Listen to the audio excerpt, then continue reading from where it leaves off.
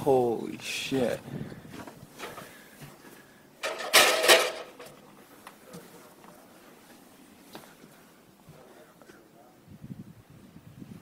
Holy fuck.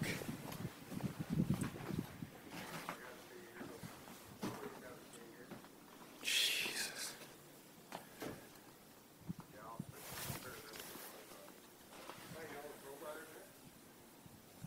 Holy fuck.